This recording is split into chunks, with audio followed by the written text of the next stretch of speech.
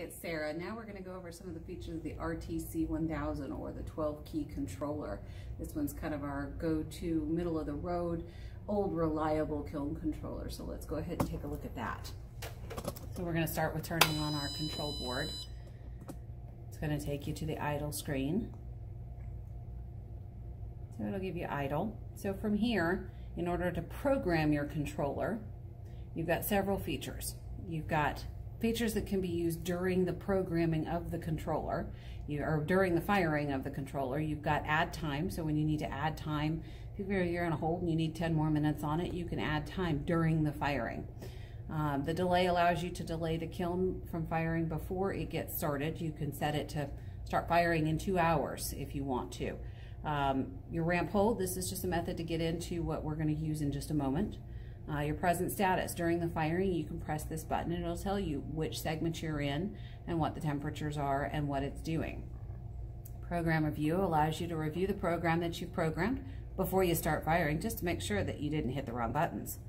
The alarm allows you to set a temperature alarm. Now the alarm is just that, a temperature alarm. Some people set it to zero and they think that zero is an alarm because that's turned off so it's zero.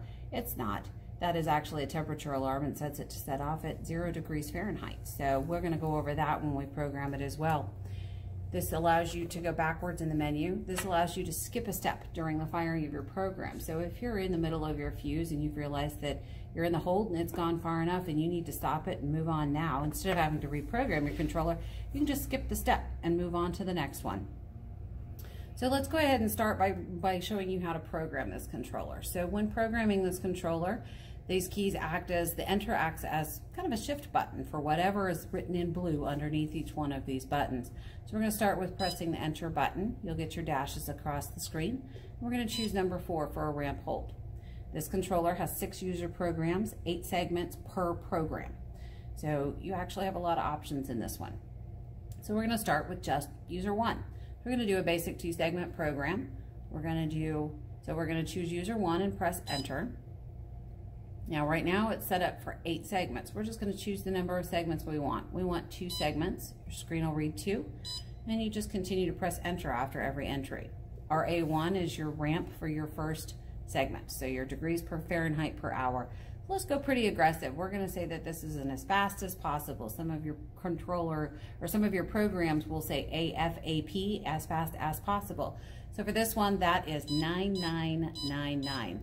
So doing that, you tell the controller 9,999 degrees an hour. Well, that's not really going to happen, but it tells it to go as fast as it can. And then you'll press enter. So the next one is your degrees Fahrenheit for the first segment, your target temperature. So let's say that we're going to target 1450 degrees for our first target temperature. Enter. The first hold is going to be the how long you want to hold it in the first for the first segment. So the hours are to the left of the decimal, minutes are to the right, and the numbers are literal, not fractional.